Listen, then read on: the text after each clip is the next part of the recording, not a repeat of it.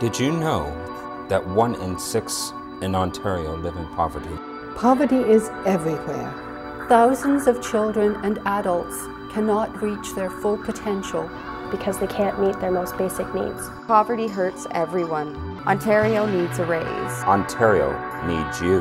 Join us and others across Ontario as we walk, wheel, and ride for dignity to Queen's Park for a rally on September 29.